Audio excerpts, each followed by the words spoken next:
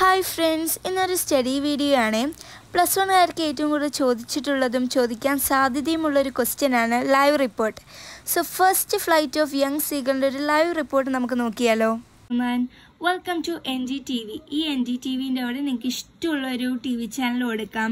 Star T വിന്നോ net T വിന്നോ അങ്ങനെ ഇഷ്ടമുള്ള കൊടുക്കാം. ഞാൻ ഇവിടെ കൊടുത്തിരിക്കുന്നത് എൻ ഡി ടി വി എന്നാണ് welcome to N D T we to watch the love telecast of the program amazing stories ഈ അമേസിംഗ് സ്റ്റോറീസ് എന്നത് എന്റെ ഇമാജിനേഷനിലുള്ള ഒരു പ്രോഗ്രാമാണ് നിങ്ങൾക്ക് ഇഷ്ടമുള്ളൊരു പേര് കൊടുക്കാം കേട്ടോ ഐ ആം നദാഷ നിങ്ങളുടെ പേര് എഴുതാം and this is today's top story as you know now I am here at Marina beach ഈ സീകളൊക്കെ കൂടുതലായിട്ടും ബീച്ചിൻ്റെ അവിടെയൊക്കെയല്ലേ കാണാം അതുകൊണ്ടാണ് ഞാൻ മറീന ബീച്ച് എന്ന് എഴുതിയത് It is really an unbelievable and unforgettable moment.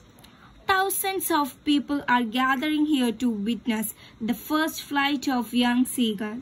It is really amazing. What a wonder. I'm sure that it is a visual spectacle to you. First paragraph ഒരു introduction ആണ് ഇനി സെക്കൻഡ് പാരഗ്രാഫാണ് നമ്മൾ റിപ്പോർട്ടിലേക്ക് കിടക്കുന്നത് സോ സെക്കൻഡ് പാരഗ്രാഫ് നോക്കാം look at that baby seagull his to afraid to fly I think his parents have left him. His parents are flying with his siblings. They are teaching them to perfect the art of flight. On his sledge, I think there is not any single scrap of food left.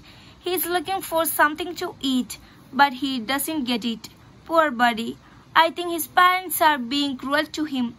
Look at his family, they are enjoying. But our fellow is tired because he has not, not eaten anything. In third paragraph, Nonka. Amazing, his mother has picked up a piece of fish and is flying across to him with it. What? When she is just opposite to him, abreast of the ledge, she has halted, her legs hanging limp, her wings motionless, the piece of fish in her beak almost within reach of his beak. Why isn't she coming near to him? Is she fooling him? Let's take a look. Oh no, the seagull is falling off from the ledge. What a miracle! His wings are cutting through the air.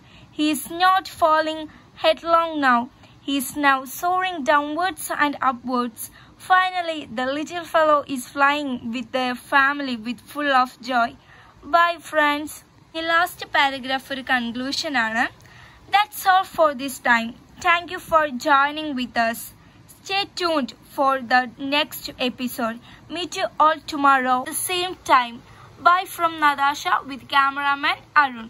അല്ലെങ്കിൽ this is നദാഷ winding of ടുഡേറ്റ്സ് episode with cameraman so ഇത്രയേ ഉള്ളൂ ഇന്നത്തെ live reporting ഇഷ്ടമായ like ചെയ്യണം share ചെയ്യണം subscribe ചെയ്യാൻ മറക്കരുത്. കമന്റും കൂടി ചെയ്യണേ. Super by